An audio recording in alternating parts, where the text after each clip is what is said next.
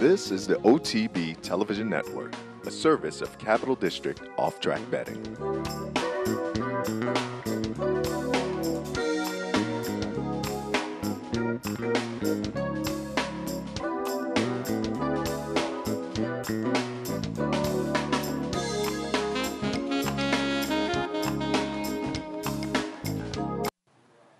Good morning, ladies and gentlemen. Welcome to the Handicappers Report alongside Jeff Carl. I am Anthony Mormino in front of a live studio audience this morning as the little guy is, uh, his vacation started early yesterday. You're talking about your son, not this little Not guy. that, the little guy, the littlest guy in the room. Very, very rarely there are more than two people in this room, but uh, the little guy uh, got sent home yesterday about 12 o'clock, and he announced to me, "My vacation has started early, Dad. I have no school tomorrow."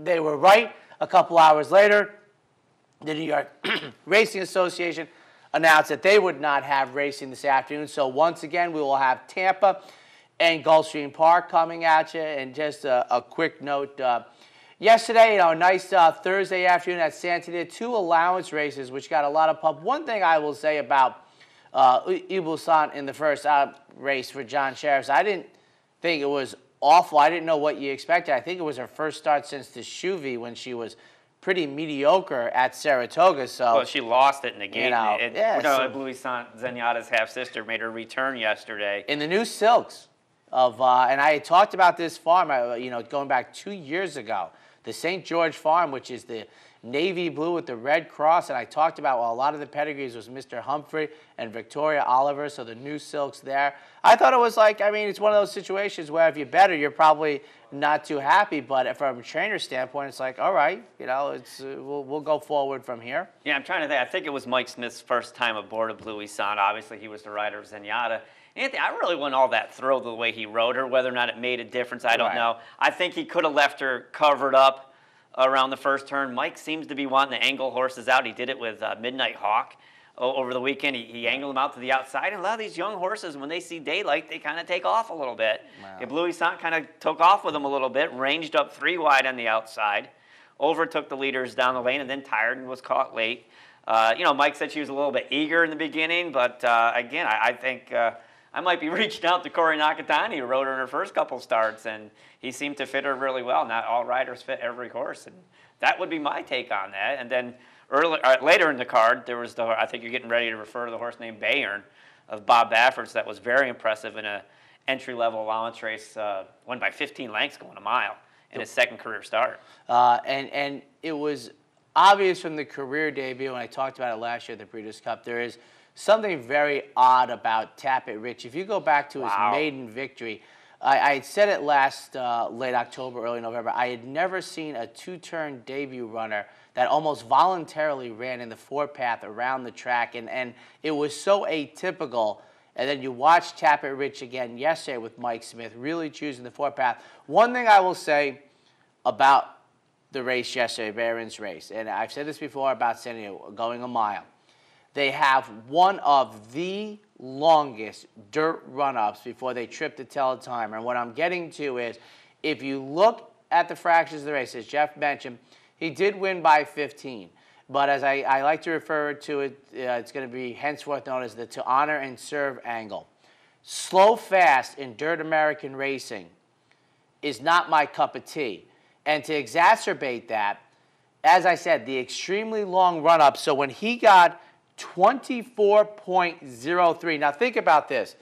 Think about the exact opposite of the mile races on the dirt at Gulfstream Park, where they have a five foot run up.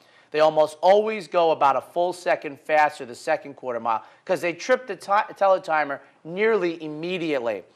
At Santa Anita, it's exactly the opposite. They have a full head of steam. I think it's over 120 feet. Now, we see that in turf racing, but not dirt racing tour. So he's got a full head of steam, all puns intended, and he goes 24 flat. My point being, after really walking the opening quarter mile, he went 111 and change for the final six furlongs. I don't know what to make of it, is my point. And I'm just trying to say be leery.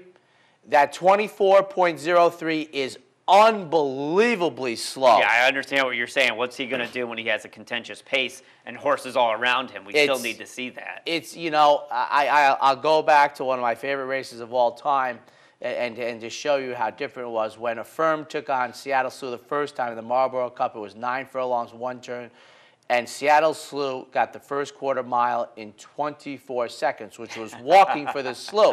Now he got the last seven furlongs in 121, so Yeah. he showed you how how tremendous he was you know, and it, Affirmed would have had to go 120 and change. But my point being, if you have any semblance of talent, and to honor and serve showed you it, if you can milk the first quarter mile, he turned it into a six furlong sprint, and I just told you he went 111. So just let's see. I mean, visually it looked Sure good. did, yeah. Maybe Tapper Rich has really got uh, something that doesn't work for him because he's now had multiple races. He, he, clearly he wants. looks he looks unrideable. Yeah, I mean, Mike Smith was I don't on know him if yesterday. He's sore or if there's no, a, he, he, doesn't like want he- the bit He's a in bit his of a- mouth. what we call a rogue. Uh, he- Okay. He, he doesn't have any steering whatsoever, Yeah. and he seems like he just wants to do whatever he wants to do. And you know, riders make it look so easy. But when you have a thousand pound animal who doesn't want to comply with what you're trying to do, there's really very little you can do Very to stop them. Uh, they're very, very strong and powerful animals. And just the last, was it three races of this horse, Tappet He- Rich? He looks completely unrideable, particularly going around that first turn, and then it's just over from there.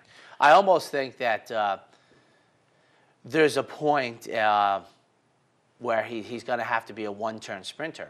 I mean, it's just, He, there ju- yeah, just yeah, I wouldn't disagree with you. There's no- You can't negotiate that first turn. It's you know, and I'll tell you, it, wh- and I, I go back. You know, I like to once in a while, you know, just implore you to watch particular races, such as the third race at Tampa two days ago.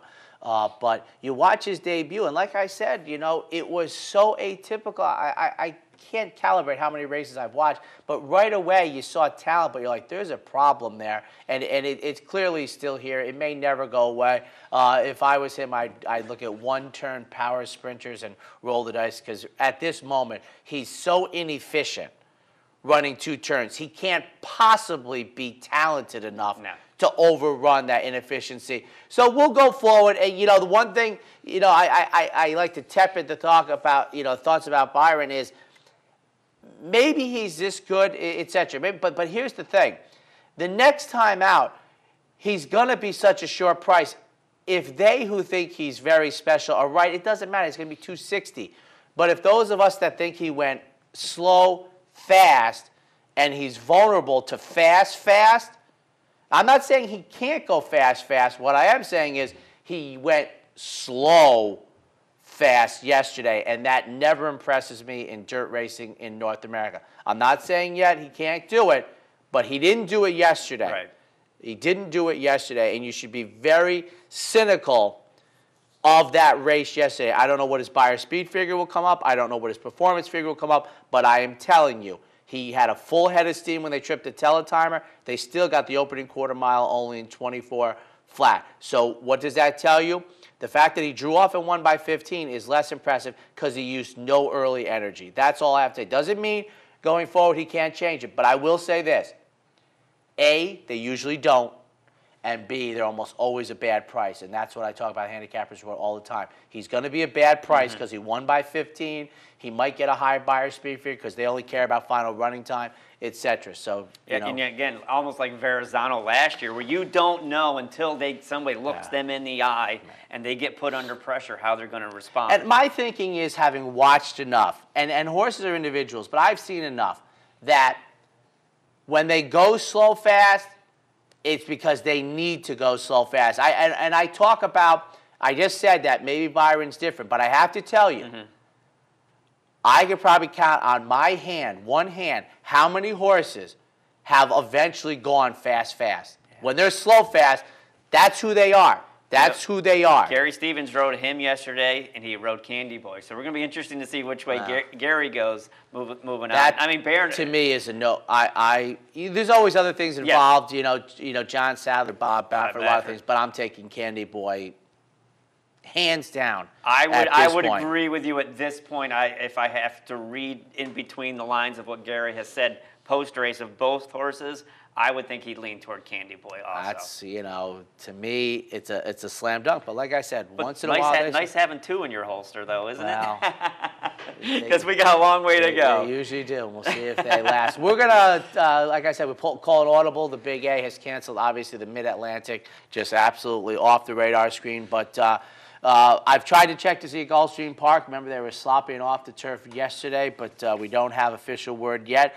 Uh, Tampa Bay yesterday, uh, the beat goes on down there. Jeff's gonna take a look uh, at Tampa Bay, and that's where we're gonna start coming out of the trees at seven eighths of a mile. Uh, four-year-olds and up fillies and mares, maiden claimers in for eight. And one of the things, I mean, I, I do like the trees because in the case of Tampa, at least they help us out because you get the head-on split screen. So the trees are just re- really part of the landscape, but as a trip handicapper, they're immaterial because they show you the beautiful head-on in the top, so it makes it visually okay. Yeah, and uh, we ready to jump into the opener? Yeah, you got Phillies and mares, maiden claimers, eight going out of the trees. Yeah, I got five, one, and two in the Tampa Bay opener. Number five, close mystery. If you watch me here in the Handicappers Report, you know I, I like first-time starters and maiden claiming events. And yeah, I'm really reaching out here because I think I think your your favorite, the number one Night Fury, could be vulnerable, and I'm taking a real big chance with a number horse called Clo- Close Mystery. This is a six-year-old first-time starter, and it, it could be a hobby horse owned and trained by the same gentleman, gentleman named George Paris. Uh, Ryder hasn't won anything at this meet. Yes. But- Olaf oh, Hernandez. did he win Two days ago. Two days ago, Two days Did- ago, Olaf. And the reason I laugh, I follow Tampa pretty closely, and I'm not saying, I mean, my last name is Mormino. Probably most people wouldn't be surprised that my first name is Anthony. Yeah. But Hernandez and Olaf, they are not cultures that go together. Yeah, is it kind- Olaf is Scandinavian? Kind of Scandinavian Dutch. and yeah, yeah. Hernandez would be probably of the Spanish tree. so when I saw Olaf Hernandez, I had to do a little invest because it didn't. But Olaf won uh, two days ago. So he's on a roll. So He's I, should, I should be feeling good about this pick. so is Mr. Parrish. He's got a runner-up in his one start. But Olaf Hernandez, All right, I'm feeling even who better. right up there with Orlando Bocachica as my favorite jockey name. You know, when, when, when Orlando was riding Lochte in, in the Gulfstream Park. yes, race, eighty dollars. I'm, I picked him up around the far turn. I'm saying, stay where you are, stay where you are. And they stay where you are because you're in a perfect spot. See, you're a true handicapper now. You're yelling at jockeys. And then, you know, and it opened up for him. What a nice ride. But getting back to the opener in Tampa. Olaf. Col- I'm looking for Olaf today with the number five. And you know what? Only two published works, but they're okay. And like I said, the number one Night Fury is your six to five morning line favorite.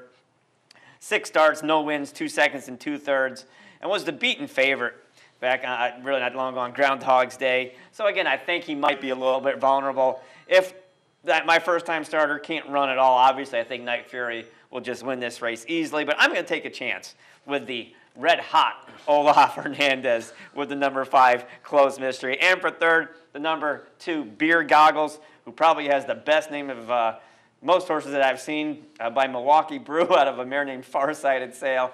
This is a great name for a horse, but you know what? This horse hasn't run in 15 months, dropping down from 32,000 where he run he ran on the turf or she ran on the turf, excuse me, and never close in four career starts. So there's a lot of question marks there.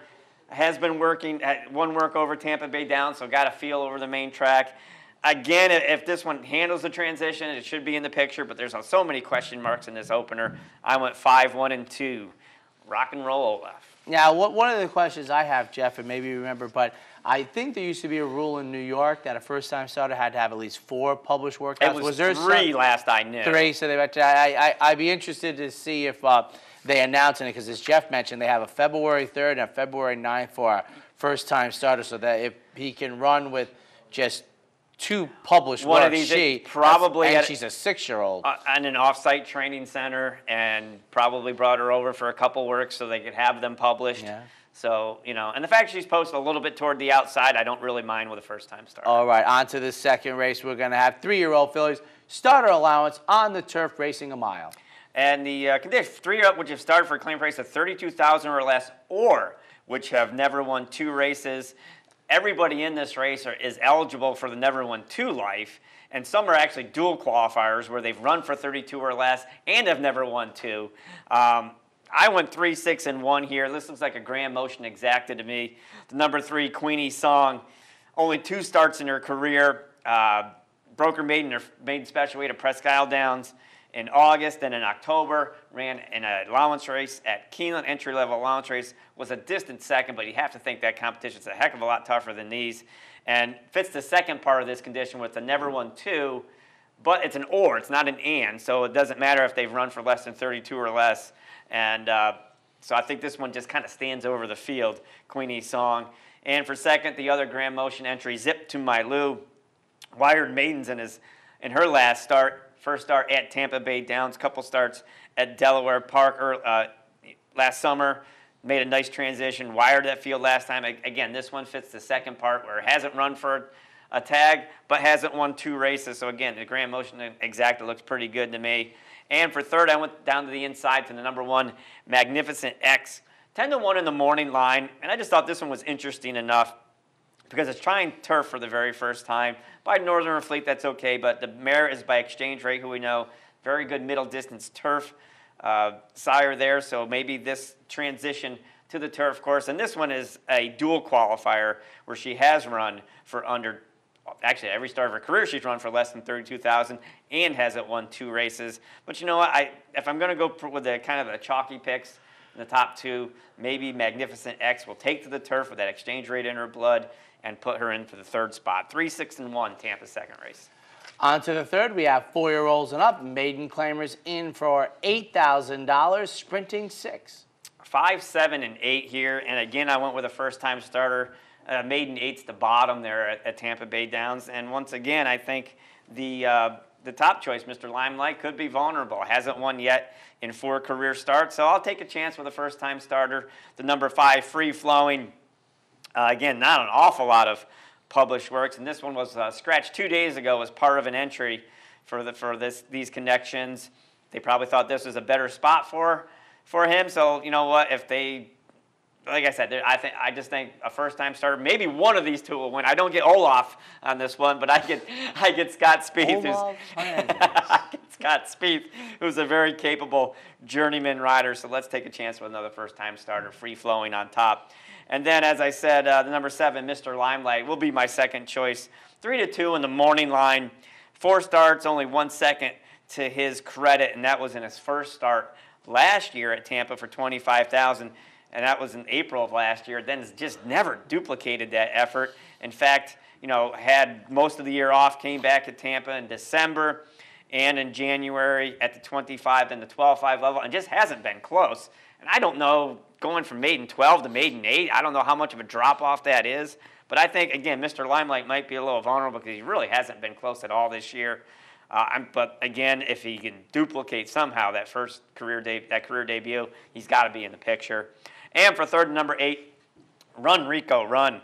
This one's got 30 starts and only one second and five thirds. But this is his third start coming back off a layoff. So form cycle, he's probably got himself fit now, and maybe he can be up there for third. Five, seven, and eight, the Tampa third race. And one thing I'll say about uh, Scott Spieth, um, he, his, his time, I think he's got over 100 mounts at Tampa now.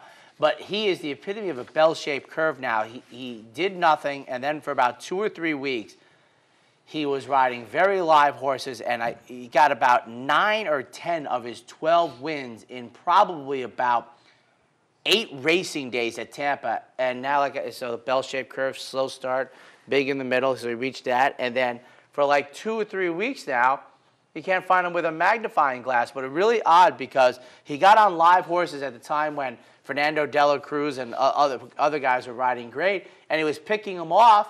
We went in like, uh, you know, probably five, six in, in four days, I think he won.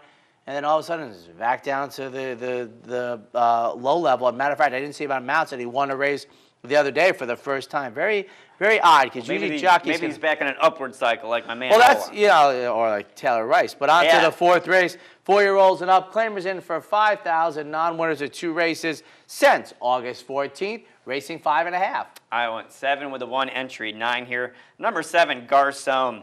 Uh, finally broke through the 5,000 never win or haven't won a race in a year. That was on January 24th, and it just looks like this this this horse is getting a little bit better, progressively better throughout his Tampa starts, going back to December when the meet opened. He went from finishing eighth to fifth to fourth, and then he then he, as I said, he got through that uh, 5,000, haven't won a race in a year. So this is the next logical step, haven't won in two. So I'm kind of trying to go on a horse that's just really in, in, a good form cycle. Maybe he's getting a little bit better. You can make the case that maybe he's going to regress off a big effort. But uh, you know what? I'm just going with the fact that maybe he's just getting a little better. He can sustain that.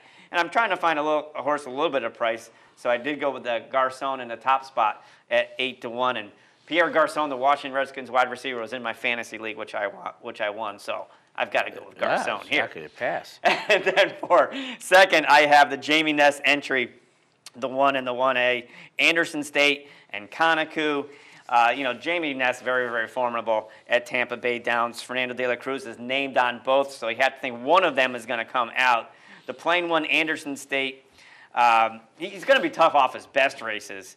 Uh, in fact, you know, he was claimed two starts back in October um, for for eight that. No, I'm sorry, he was claimed last time out for uh, for 62.5 at Laurel Park, but then he, we haven't seen him since, and that's not necessarily the way these claiming operations run. They don't like to sit on horses, so maybe there's a reason that he didn't run well that day, and now they're putting him back in for for 5,000. So it's a little bit of a question mark there. The the 1A Conaco. Uh, you know, he grabbed his, his 5,000, haven't won a race in a year on January 10th. And then he was third in the subsequent race in this, next, in this same spot. I went back and looked at that race, and you know he just really didn't have a very, very big excuse. Seemed like he had a nice, clean trip.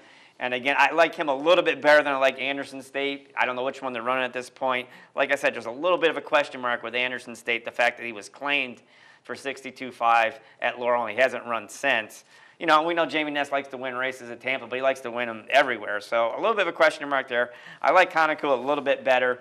And for third, I have the number nine black belt. Again, he captured his 5,000, haven't won a race in a year on December 26th. Hasn't run since. He's had a couple maintenance works in the interim. So again, these most of my choices are horses that are coming out of uh, either a recent win or not too far back win from the 5,000 never won a race in a year. Next logical step. 7 1 entry, 9 in the Tampa fourth race. On to the fifth race, even numbers galore. We have four year olds and up, optional claimers in for 12, starter allowance 8, racing 6. And this time I couldn't go past the Jamie Ness entry. I went to one entry, 7 and 2 here. Uh, the plain one favorite Patriot is in for the starter allowance portion of this race and will be seeking its fourth straight win, one for 12.5 at Tampa, then 16,000, then ran in an $8,000 starter, wired all those fields. Looks like he's probably got the best early speed here. Daniel Centeno is named on both parts of this. I really I like favorite Patriot a little bit better than the 1A PJ's Magical Wink, who we know very well from the NYRA circuit last year. Um, and he was claimed to back for 16,000 at, uh, at Monmouth Park. Subsequently, Jamie Ness ran him in, a, in an entry level allowance at, uh, at Laurel Park in September, and it didn't go all that well, and he's been off ever since. And yeah, that's a little bit of a question mark. The only thing in his favor is the fact that he does have a bullet work at Tampa Bay Downs on February 9th. Uh, you know, and that's really the only one that's showing that that's recent. Before that, he was at Bowie. So again, I mean, if PJ's Magical Wink is anywhere near the horse he was last year on the NYRA circuit, he'll win this race easy. But again, I like favorite Patriot a little bit better. At this point, I don't know which ones are running, but they're both going to be very, very tough to beat. For second, I have the number seven Houston Bull, who was third behind favorite Patriot and had a little bit of a wide trip that day on January 24th. Again, might suffer the same fate being out there toward the, uh, you know, breaking on the outside. And Anthony, you see this all the time watching Tampa Bay races, how much they float out coming around that turn. Uh, it just makes you wonder why some of these drivers just aren't planting themselves on the rail. But uh, Houston Bull with a wide trip third last time. Let's put him in the second spot. And this one does look kind of formful to me because in the, in the third spot I have the number two, CIA, who did beat Houston Bull in his last race. And uh, Houston Bull had ran, has run in the interim. I think you're kind of splitting hairs between these two. But to me, the Jamie Ness entry was just too hard to go by in here. One entry, seven and two in the Tampa fifth race. I was saying yesterday, I think, and uh, I don't think you can make a living on the rail. You think it's just too deep, and that's why everybody just The- floats out? the four path, eh, I, I, tr- I, I try and follow Tampa closely, and you watch the jockeys, and there's a few Ronnie Allen Jr. and Fernando De La Cruz and a couple others, but I, I, I see it be very inviting. I was saying y- yesterday that the day before, two days ago, uh, three out of the four odds on horses lost. The only one that won, uh, Ultra Prasando or something, Yep. came up the rail and got home, but was life and death at I think three to five, maybe four to 5 and the four path horse won. And I was telling people that's almost an indictment, and everybody else loses on the rail. I watched it a, lo- a for a, a lot of years, and I've always said this about Tampa. It seems as if you see the winner on the dirt race is always in the four and five Yeah, path, right. and I and I took that visual and I, I purposely watched and that you're right, they drew drift out, but nobody, and I'll tell you what, the jock on Ultra Prasano, and I forget who it was, uh, one of the journeymen, it, uh, he took that rail with no other choice. I mean, he was committed, watched he, he Yeah, was forced yeah, to do it, I picked and ours. I was like, he just he, he almost lost. It was almost 0 for 4 the odds on Yeah. horse. I just think you can't make a living on the rail at, at Tampa for whatever reason. It's close to water. I don't know, but I've watched long enough that uh, they don't get much weather change. They get Mm-hmm. a little, but they don't get much. But I'll tell you, you, you it's it's wide open. I see jocks go there with live horses, and, And, the horse- jocks love that middle move at Tampa. They oh they. I Well, you got to get the position Yeah. to be three or four wide on the turn. And what tells me is, eh, is if you can go three or four wide on the turn, you don't have to do great in geometry to realize what you're giving up. And that's the winning move. That even more intensifies my belief because you're giving up all the advantages, and mm-hmm. it's the one spot. It Well, must you be said the it, place it to just run. seems like it'd be so inviting to And it to, is. to ride the race that Edgar rode on Vinceremos Yeah. in the Sam Davis, where he just Yeah. stayed on the rail and stayed patient. It's- Horses blew by him, and he. But It- you know, I mean, you're talking about a different caliber of horse, Yeah. also. And it also might have been that day of Stakes Day, but you watch it day in and day out. We'll take a quick break. When we come back, second half of today's action from Tampa Bay Downs. I'm Brian Nadeau of HorsePlayerNow.com. Join me Friday, February 21st at the Clubhouse Racebook, where I'll be handicapping the day's racing and managing a $500 bankroll for 25 lucky patrons. We'll see you then, and let's win together. I'm Seth Merrill. Join me weekdays at 10 for Racing Across America. We'll look at important races from around the country, get insight from top handicappers and analysts, and preview the upcoming week in racing. That's Racing Across America, weekdays at 10, right here on the OTB TV network. The Capital OTB Handicapping Challenge Series is back. That's right. The 2014 Capital OTB Handicapping Challenge Series is back, and it's your chance to win thousands in cash and prizes and a seat at the 2015 Handicapping Championship in Las Vegas. This month's contest is the Shamrock Showdown on March 1st. So sign up today, online at capitalotb.com or stop in at the Clubhouse Racebook. I got it. Watch me. I got it. Hey! I got something that makes me want to shout. Tells me what it's all about. I got a move that tells me what to do. If you don't, brothers and sisters, then you won't know what it's all about. Funding your Capital OTB bet account is as easy as one, two, three. One, easy money. Clearly the fastest and easiest method of depositing funds into your account. Make deposits or withdrawals in just minutes. Two, Green Dot Money Pack. Gives you instant access to your funds. Green Dot Money Packs are available at thousands of retailers nationwide. And three, MasterCard Visa. Simply click on the link from the funding page, enter your account information, and fund your account. CapitalOTBBet.com. Log on today. Hey, race fans, head down to the all new Clubhouse Racebook. With live horse racing on more than 250 flat screen TVs, state of the art wagering terminals, and amazing Vegas style atmosphere. The Clubhouse Racebook, 711 Central Avenue, Albany. Welcome back, ladies and gentlemen, to the Handicappers Report alongside Jeff Carl. I am Anthony Mormino. The Big A, amongst other racetracks, closed this afternoon.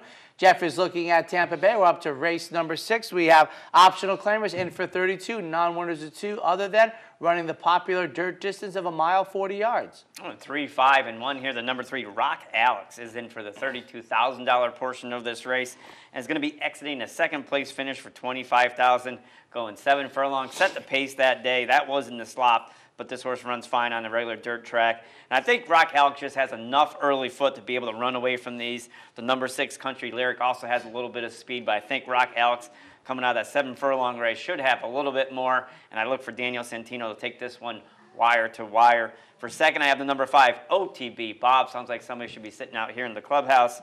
But uh, you talk about a horse with second itis, five consecutive seconds, dating all the way back to October at Hawthorne Park, and was a tough beat. Only got beat a nose last time.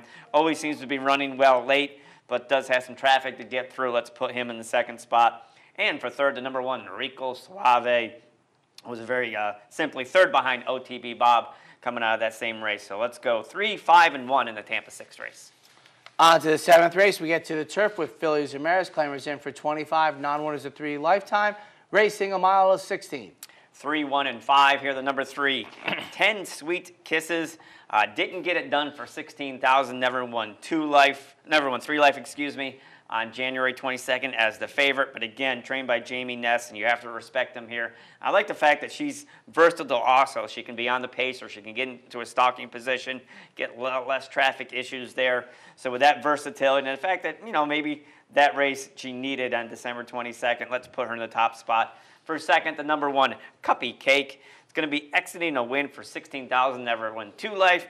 Next logical step is either going to be 16,000, never won three, or 25. Uh, this one's going to be coming from off the pace. And again, from the one hole, you'd have to hope that this rider is going to be scraping the fence all the way around there and being saving every inch that he possibly can and be running late to get second. And for third to number five, Miss Twinkle Toes. Uh, just tossed that last race, which is an off the turf event. Before that, she won the never won two lifer, uh, 25,000. So same price, next logical step up, and she also has good tactical early speed. Three, one, and five in the Tampa Seven. Eighth race on the card, four-year-olds and up. Claimers in for 8,000, non-winners of three races of a lifetime. They're on the dirt racing a mile 40. One, two, and five here. The number one, Zio Stefan, beaten favorite this spot in his previous start on January 31st, but was second that day, so didn't get beat very, very far. Was also claimed, and the new connections reach out to rider Ronnie Allen Jr. or his agent went over and says, you know what, I do want to ride this horse back because he's got a good chance to win, which is probably the case. So let's put Zio Stefan into the top spot. And for second, right alongside him will be the number two, Half Wed, who uh, kind of go back to the dirt after a failed attempt on the turf. But the prior race was a convincing win for 8,000, never won two life. Next logical step up, 8,000, never won three life. So if you can duplicate that effort two starts, two starts back, he should be on the board also. And for third, let's go with the number five, Arctic and Breeze. 12 to 1 in the morning line, which I thought was a little bit uh, generous because won at 8,000, never won two life on, on February 1st. And before that, uh, a couple starts before that was second to, to Half Wed, who's a much shorter price. So again, can come back and duplicate at a decent price, you can make a nice little triple. One, two, and five in the Tampa eighth race. And in the ninth race finale this afternoon, we have four-year-olds and up. Fillies and Mares claimers in for 16. Non-winners of two on the turf, going a mile of 16. Eight, five, and nine here. The number eight, the Teacups. A very wide third in her first Tampa start on January 11th at this level. Had uh, a little bit of two-month break coming into that race switches to Daniel Centeno. Not that I think Quincy Hamilton's a bad rider, but Daniel Centeno really has a great feel for that racetrack. Five to one in the morning line. I'd really, really like if I could get that today because I think the teacups could really get it done in the last race. And for second, the number five, blending, uh, dropping down from 25,000 down to 16,000. I don't think that's a huge drop but he did break his maiden for 16000 at Gulfstream Park. So maybe this is a better spot. You know, after that, he tried allowance and 25000 So it comes down a little bit, maybe a better spot for him. And for third to number nine, Starship Amanda returns from a nine-month layoff where she was sprinting in five furlongs at Monmouth Park. I don't think she's fit enough to win this race, but I think she'll take him as far as she can, and hopefully she can hold on for third. Eight, five, and nine in the Tampa finale. We'll take a quick break. When we come back, we'll go to the other side of Florida, Gulfstream Park, up next. I'm Brian Nadeau of HorsePlayerNow.com. Join me Friday, February 21st at the Clubhouse Racebook, where I'll be handicapping the day's racing and managing a $500 bankroll for 25 lucky patrons.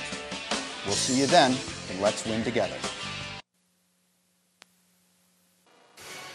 This is Steve Byk. Join me Tuesday through Saturday here on OTB TV for At the Races, my Sirius XM daily news magazine of the thoroughbred industry. Handicapping, interviews, analysis, everything you could want. 6 a.m. OTB TV. Hey, race fans, head down to the all new Clubhouse Racebook and get in the game. With live horse racing on more than 250 flat screen TVs, state of the art wagering terminals, fantastic food and drinks, an amazing Vegas style atmosphere with seating for nearly 900 of your closest friends. Conveniently located at 711 Central Avenue, right off exit 5 of I 90 in Albany, the Clubhouse Racebook is the better choice. Each morning on the OTB TV network, you get the very best in horse racing programming. Weekdays begin with the Handicappers Report, where professional handicappers share their selections and analysis of the day's racing. Followed by Racing Across America, a daily conversation with racing personalities from around the country. Saturdays include Down the Stretch, where Mark Cusano speaks with the biggest names in racing. And Sunday mornings, it's Loose on the Lead, where Steve Byk and I offer news and a unique lineup of weekly guests. All here on the OTB TV network. Wagering at CapitalOTBBet.com is as easy as one, two, three. One, CapitalBet TV, the fastest and easiest online wagering experience where you can monitor five different tracks simultaneously. Two, Capital Bet Express. Its straightforward program layout and interactive handicapping information lets you build your wager quickly and efficiently. And three, Capital Bet Pro, designed especially for the professional horse player. CapitalOTBBet.com. Log on today. Missed one of our TV shows? No worries. Now you can catch all your favorite programs online. Simply log on to capitalotb.com and click on the YouTube link at the bottom of the homepage. And look for our new podcast coming soon. capitalotb.com. Log on today. Welcome back to the Handicappers Report. Thank you for joining us on this Valentine's snowy morning. Uh, before the break, I gave you my selections for Tampa Bay Downs. As we said, most of the ra- racetracks on the East Coast are closed. So we're taking a look at Tampa and now Gulfstream Park. We have a 10 race card to get through. The opener is six furlongs. It is a maiden claiming event for four and up. And the claiming price is 12500 I think on this date about seven years ago, we might have got about 18 inches of snow on Valentine's Day. You know, and I was at Belmont Park. My wife was up here, and it was really hard for her. storm. Uh, I think that was like a started at like eight o'clock in the morning and just pelted the area. That is one that Mrs. Carl will not forget. Okay. 365 in the opener this afternoon at Gulfstream Park and Grade A Lover. Gets our top pick. Edgar Zayas having a very nice meet. I mean, here's a jockey winning at about 15% uh, at a very tough meet. This runner in a new barn making the third career start. Uh, I like the most recent one when racing a mile on the dirt for the first time. The beaten lengths and final running position is of little interest to me. I think that was just a practice effort. Now we shorten up to six furlongs, and I make number three, Grade A Lover, my top pick. For second, number six, Tangible Assets. We certainly hope so. Joe Orseno sends out this runner with Dylan Davis in the saddle, making the first start since July 27th at Gulfstream Park for this offspring of Value Plus, who has shown good early speed, previously sprinting in New York early in the career. For third, number five, Paco Lopez gets them out for Jorge Navarro, who is going great guns at this meet. 365 in the opener. Gulfstream Park, race number two, seven and a half furlongs on the turf. It is a maiden claiming event for four and up, and the claiming price is 25000 They just won't stop riding this distance. Last year they stopped riding it, but it is here to stay. And this is another example, I believe, where we're seeing the influence of Calder and Gulfstream running concurrently. Last year, I don't have the stats in front of me, but I think there'd be very little chance that there would only be eight horses in this maiden claiming 25 on the turf. 361 for me. Adria gets my top pick, making the third career start. Debuted made in special weights, but when it came back for a tag, I thought ran very, very well off of a freshing. I think that should catapult us moving forward. We draw a good post position this afternoon. For second, number six, Union Square. Carl Domino sends out this runner. Love the most recent effort under Dylan Davis, which is very nice. gets Luis Saez to take them out this afternoon, and that certainly is a thumbs up for the Carl Domino operation. And for third, the rail number one, Angels Girl. This horse was off for 18 months, came back, ran better than I would have expected, freshened up, laid off again from April, coming back. Elvis Trujillo, who got to this meet late but is going very nicely, he takes over the mount uh, this time for Stephen Dwinski. Seven career starts, four times hits the board, has already come back from an 18 month layoff. Now we'll see how we come back off of a 10 month layoff. Three, six, and one. Gulfstream Park race number three, maiden claiming event going six furlongs.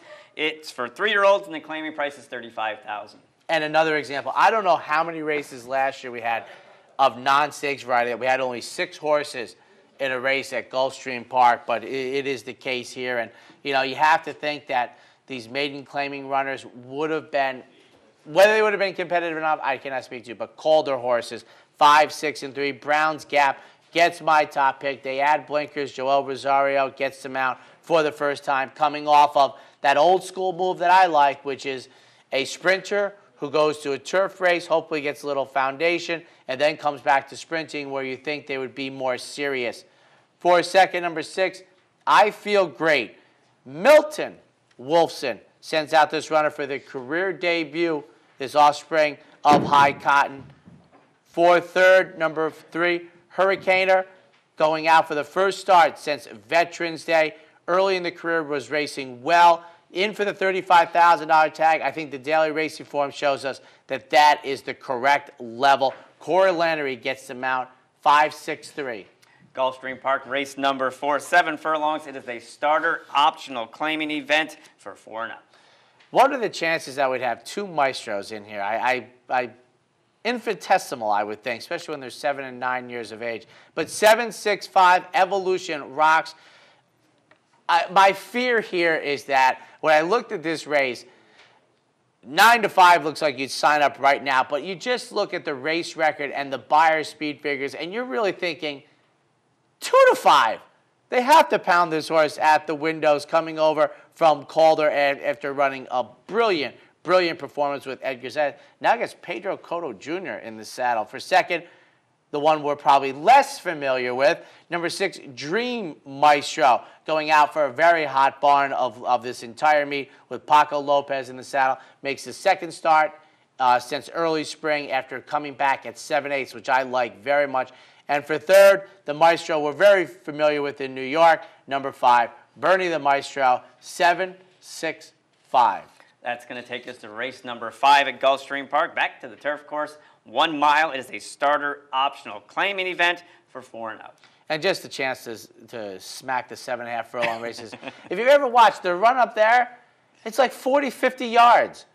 Why don't you just go the, the other 40 more and just go the mile? I don't get it. But Jeff says trainers won't fill those races. 3, 5, and 10. Long Hunter gets my top pick. A very, very tough out in this race. Michael Maker, young Mr. Castellano, has the mount back after winning by a pole in an optional claiming 20.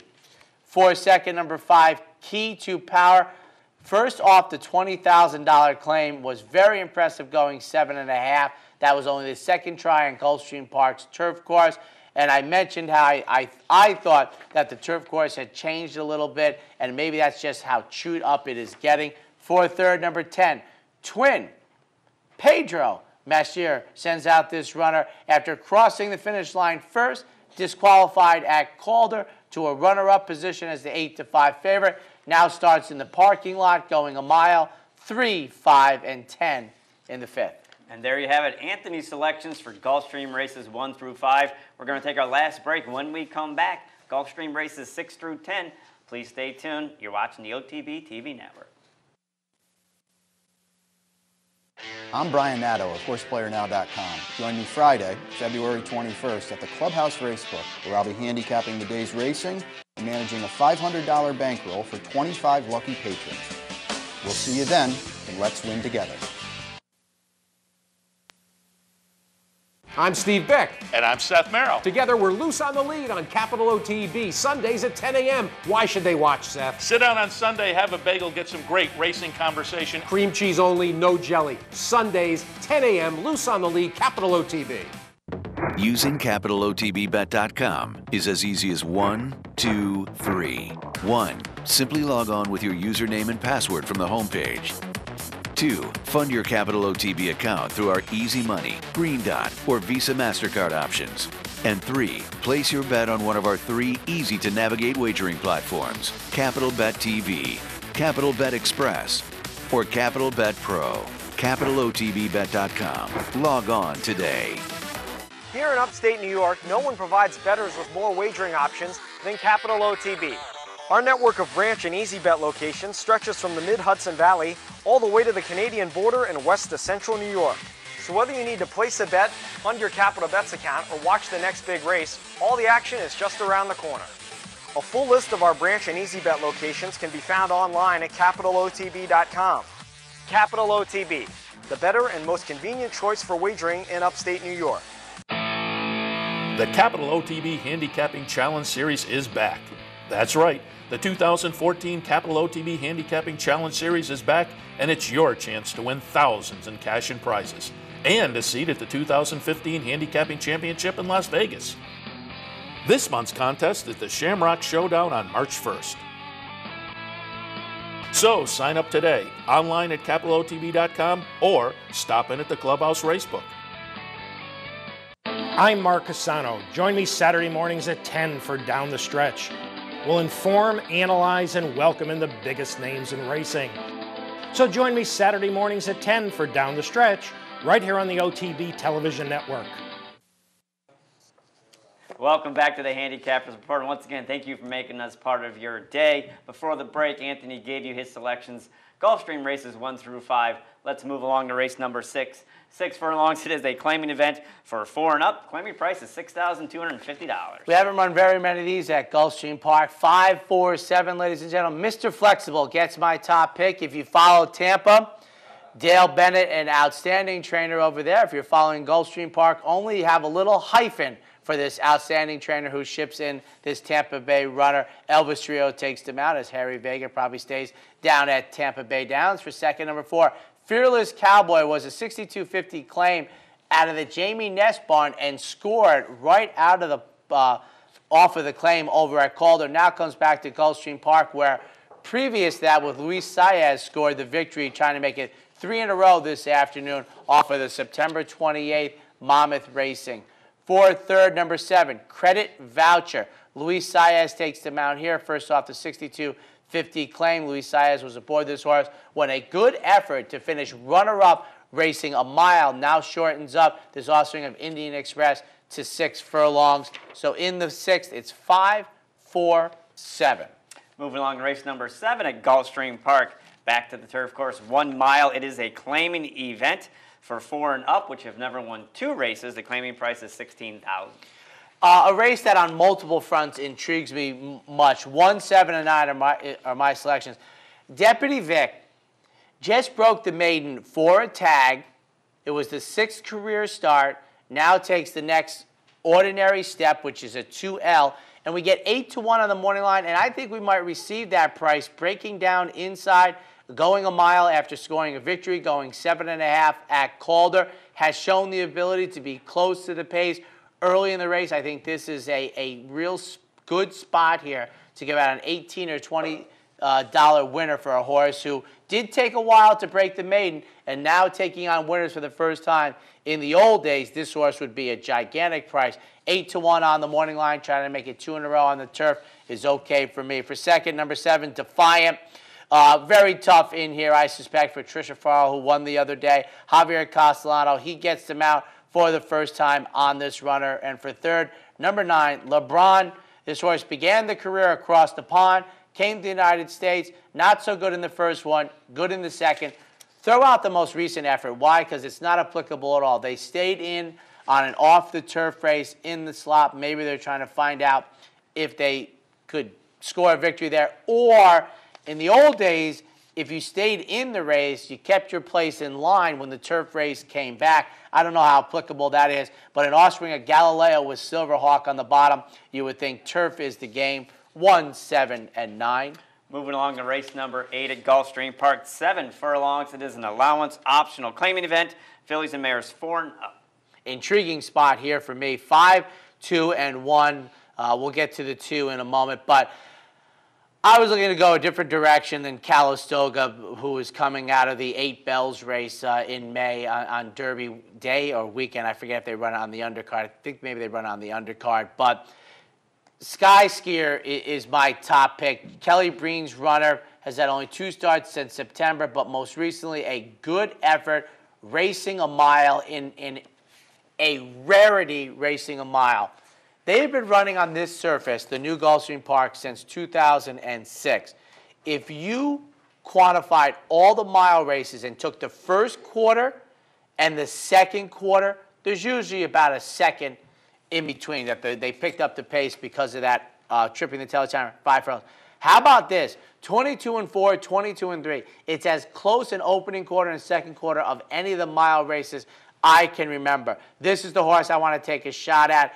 Six to one on the morning line for Kelly Breen and Paco Lopez. Horse has already shown an affinity for Gulfstream. That's going a mile and a strong pace race on it, and now shortens up to seven eighths, taking on number two Calistoga, who for many will be the horse to beat. Was two for two going into the eight bells.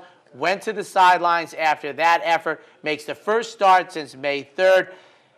I, ah, I don't even think six to five is attractive on this horse, and I think the horse will be a lower price. And for third, number one, Lady from Havana, five, two, and one in this afternoon's, I would say, feature race with the return of Calistoga, who I guess is named after a wine lover.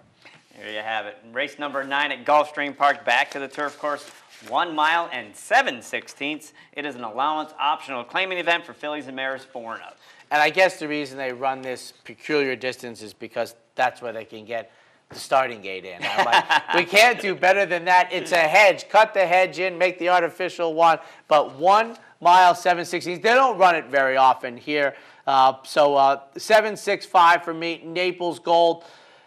On pedigree, you might think it's a bridge too far, being by having Langfuhr and Machiavellian. You're thinking eight furlongs on the turf, but sometimes uh, especially going three turns, boy, it's just about speed and controlling the race. Now, there is a part when deceleration and exhaustion sets in, and if that sets in, you're going to drop back like a, a lead weight. But if the race unfolds and the farther they go and the more controlling speed you have, it could be advantageous. The familiar red and white silks of Edward Cox going out for Christophe Clement for second. Number three, Glorious Chant. Michael Matz sends out this runner off of a May 22nd layoff. Could be a gigantic price, and maybe I should have flip flopped my first two selections. And for a third, number five, six, three, five, in an intriguing back to back allowance races this afternoon at Gulfstream. The finale at Gulfstream Park, race number 10, one mile on the turf course. It is a claiming event for fillies and mares four and up, which have never won three or have not won a race since September 14th of 2013. Claiming price is 30000 down to 25000 And these are the finale races we came to know and love over the last couple years at Gulfstream Park. Full field of 12 in here. The 13 is a main track only. 836 are my selections in here. And Susie's Gal is 5 to 1 on the morning line for a horse who has had only three starts since the spring of 2012, only one since July 5th. A very, very hot barn flying under the radar screen. Almost got all the money when running out of the Boy, here's a name from the past. The Reynaldo Nobles barn, boy. Boy, that's an operation. Wasn't that due process? Didn't he that train was for due, due process. process? Oh, my goodness. You go back to 1983 with Deputy Minister, and then obviously the last one they had was Dehere. So that's 20 years ago. And he doesn't have very many horses, but boy, for about 10 years, he trained some good horses. I, I saw that farm in New Jersey, Robert Brennan's due process farm in New Jersey. It was quite nice, but it didn't end well for Mr. Brennan, did no, it? No, no, no, no. Have a nice golf course, I understand that at Juju, but no, Bob Brennan didn't work out so well. For second, number three, Quality Kitten. Michael Maker sends out this runner for the first start since December. A poor effort, the most recent effort, but is one for three, lifetime on the turf. Won the career debut, and for third, number eight, Viva Legions, going out second off of the claim from the David Jacobson barn. Mario Pino has the mount. Eight three six. Where has Mario been? He's no mounts at Gulfstream Park as of uh, showing right here. Lost track of my friend Mario Pino. Yeah, I, I, I presumed he was in retirement. To be honest with you, I didn't. You know, I don't. He isn't at Laurel, which is his. You know. He main often goes to. Presque Isle Downs. Maybe decided to take a little vacation and. Well, that's a long vacation. What does Prescott close about September 28th, Yeah. 29th? So Good to see him back in the saddle. Mario is a very class, class act. Matter of fact, one of the races he's had great success over the years is the Barbara Fritchie, which is coming up uh, this weekend. And also coming up, you want to come in, little guy? You've been patiently waiting 50 minutes. We have Come little on. Anthony in the set here. Again, hop up. And if for any reason you missed either Anthony or selections today for Tampa Bay and Gulfstream, just go under our website, capitalotb.com. Upper right hand corner, you just click on, you can see all of our selections for Tampa and Gulfstream. And uh, let's take a look at what we have for you to watch on Capital OTB TV today. How, as, as how much is dad? How much is Daddy gonna watch TV 12 this e- you think this afternoon? A lot. I think a lot too. Yeah. Tampa Bay Downs, Gulfstream Park. Those are the two tracks we handicapped today. Calder will have Florida covered, ladies and gentlemen. Fairgrounds, Oaklawn Park. Back to the racing yesterday afternoon, and I didn't have it memorized, guys. I'm sorry. Thank There you. Santa Anita, Delta Downs, Yonker, Meadowlands, Woodbine, and Australia A and B when you go to bed, little boy. And we also invite you to go to capitalotbbet.com, our state of the art wagering platform for you. There you go. And also remember, you sign up for a Capital Bets account, ladies and gentlemen, you become eligible for the many, many contests that we run at Capital Off Track Betting, including the Bet 50, Get 50. Once you wager $50, you will get $50 free money at the racetrack. Also coming up, a few of them have passed by, but tomorrow you will have Showviver and a fan appreciation, and you see all of those listed coming up for the following week, ladies and gentlemen. And as always, you go to capitalotb.com uh, to get all the information. Do you know who's up next? Mr. Seth, who's waiting patiently in the wings. Racing Across America will be up next. Seth Merrill's very special guest, Ron Nicoletti from Gulfstream Park, where it figures to be much nicer weather than it is today, and Brian Spencer from the fairgrounds. Ladies and gentlemen, be safe out there. I know the driving is a little rough early this morning. We'll get you home safely so you can play with your friends. Enjoy the racing on the network. We'll see you back here tomorrow morning.